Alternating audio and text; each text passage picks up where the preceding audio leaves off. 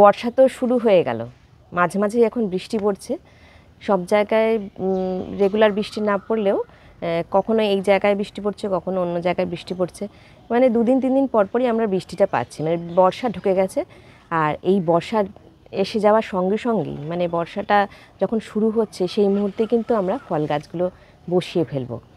আমরা যারা ফল গাছ নতুন করে কিনে নিয়ে আসছি আমি এবার বেশ কয়েকটা ফলের গাছ কিনে নিয়ে এসেছি, সেগুলোও বসাবো। আপনারাও যদি নতুন করে ফলের গাছ কিনে নিয়ে আসেন বা ভাবছেন যে ফল গাছ কিনবো এই বছরের জন্য, তাহলে এখনই ফল গাছগুলো কিনে নিন।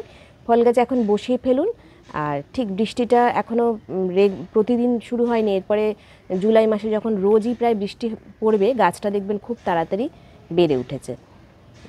আমি আজকে দুটো তিনটে ফল গাছ নিয়ে বসেছি বসাবো বলে, ছোট ছোট টবে বসাবো। এই যে একদম ছোট চারা সেগুলোকে কীভাবে বসাবো, কীরকম মাটি তৈরি করব এবং তার পরিচর্যা পরবর্তীতে কি কি করব, সব নিয়েই আজকের ভিডিওটা থাকছে।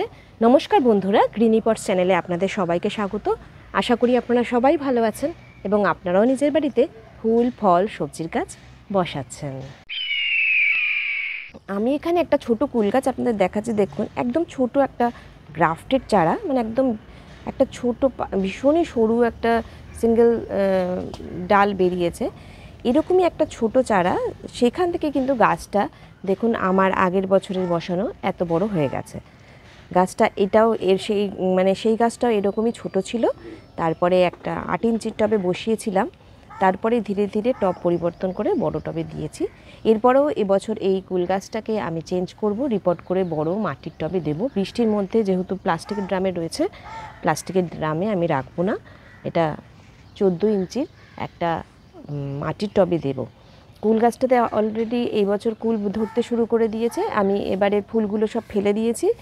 আর এই শীতের সময় যে ফুল আসবে সব নেব, প্রচুর ফুল আসবে সেটাই আশা করছি। চারাগুলো কিন্তু এরকম ছোটই থাকে। এরপরে যে চারাটা দেখাচ্ছি, এটা হলো রেড ডায়মন্ড পেয়ারার চারা। এটাও আমি নতুন এবার নিয়ে এসেছি। নিচের দিকে কতগুলো এলা ডাল হয়েছে, দেখুন।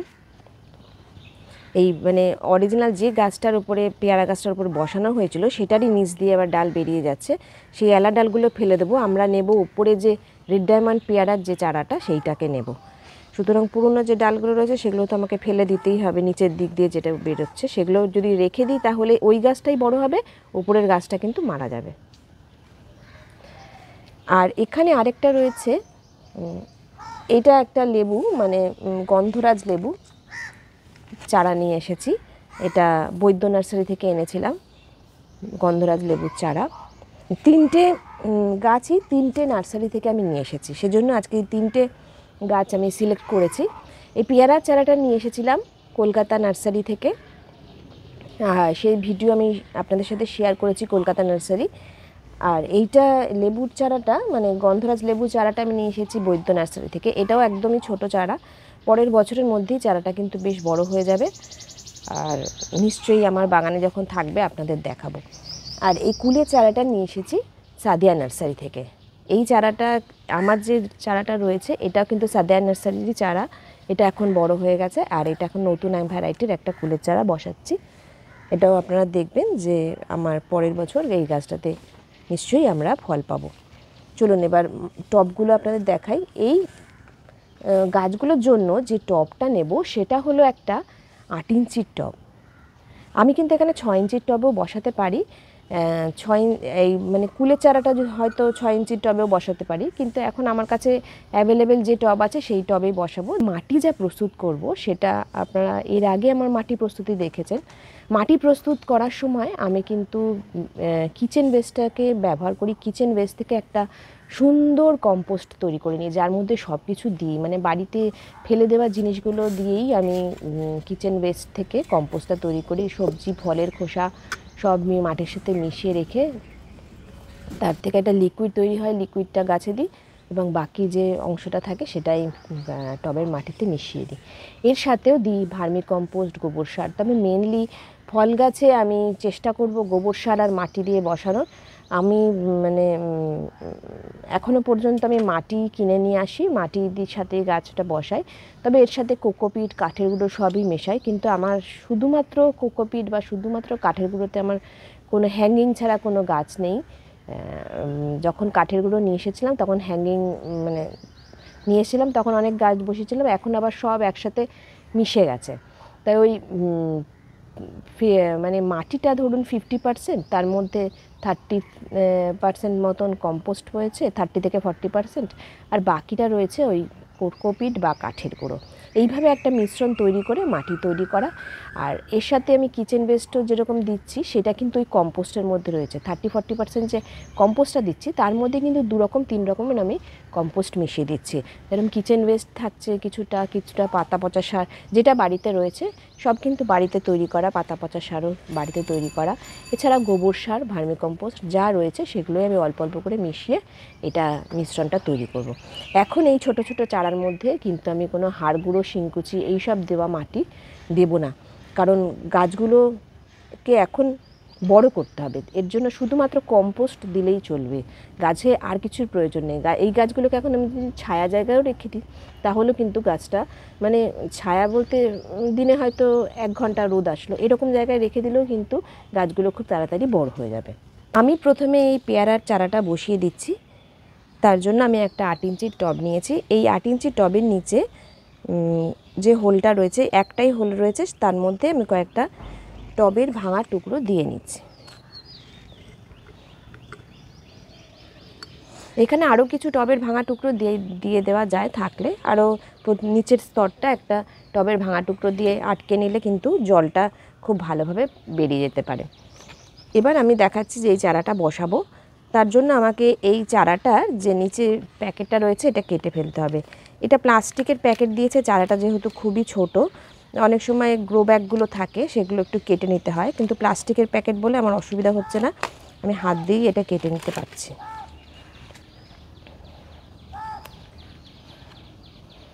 এই হলো আমার চারা, এটাকে বসাবো। এবার আমি মাটিটা দিয়ে দিচ্ছি।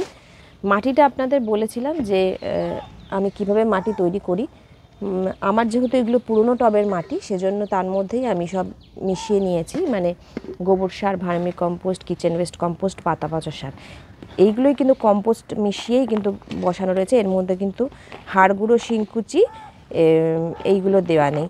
আর হ্যাঁ এর মধ্যে খুব সামান্য পরিমাণ নিমখোল দেওয়া রয়েছে। মানে সেটা কিন্তু খুবই সামান্য। আর এখন এটা বসিয়ে দিচ্ছি। এরপরে এক মাস পরে কিন্তু খাবার দেওয়া শুরু করব। সেটা হলো মিক্সড ফার্টিলাইজার এখন এই গ্রাফটিংয়ের জায়গাটা আমি এখন খুলছি না। এই অবস্থায় বসিয়ে দিচ্ছি। গাছটা ধরে যাক, তারপরে গ্রাফটের জায়গাটা খুলে দেবো। পেয়ারার চারা কিন্তু মানে আনতে আমি আপনাদের সাজেস্ট করব, কারণ পেয়ারা খুব সহজেই ছাদ বাগানে করা যায়। খুব বেশি পরিচর্যারও প্রয়োজন হয় না। আর মোটামুটি রোদ আসে এরকম জায়গায় রাখলে পেয়ারা গাছটা ধরে যায়। আর খুব বেশি যে সারাদিনে রোদ লাগবে এরকমও ব্যাপার না, আবার একদম যে বাড়িতে দু তিন ঘণ্টা রোদ আসছে তাতে হবে না, সেরকমও নয়।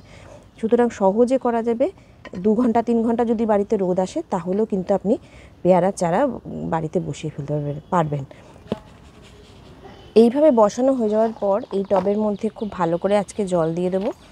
আর এই টবটাকে ছায়া জায়গায় রাখব প্রায় দশ দিন। ছায়া বলতে কিন্তু ঘরের ভেতরে কোনো জায়গা নয়।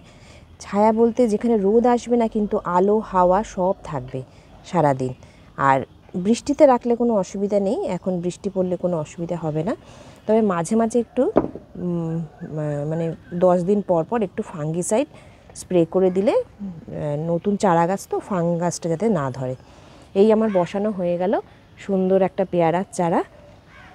এরম করে এই গাছগুলোকেও আমি বসিয়ে ফেলব, দেখুন ছোট ছোট চারা। এইভাবে এই টবটার মধ্যে আমার এই পেয়ারার চারাটা বসানো হয়ে গেল একটা আট ইঞ্চির টবে। ঠিক একইভাবে এই লেবু চারা আর কুলের চারাটাও বসিয়ে ফেলব কিছুক্ষণের মধ্যে। তার আগে আপনাদেরকে বলে নিই যে আমার ছাদ বাগানে যে ফলের চারাগুলো আমি এবছর বসাচ্ছি, নিশ্চয়ই পরের বছর যদি ফল পাই আপনাদের সাথে শেয়ার করব। আর এরপরে এই গাছটাকে কি কি পরিচর্যা করছি সেটাও নিশ্চয়ই আপনাদেরকে জানাব পরবর্তী ভিডিওতে। এখন আপাতত গাছটাকে ছাদ, ছাদে রাখব না। মানে আমার ছাদের প্রত্যেকটা জায়গাতেই কিন্তু রোদ আসে, প্রচণ্ড রোদে কিন্তু গাছের পাতাটা পুড়ে যেতে পারে। তাই একটু ছায়া ছায়া জায়গায় দশ দিনের জন্য রাখব, তারপরে আস্তে আস্তে ছাদে নিয়ে আসব।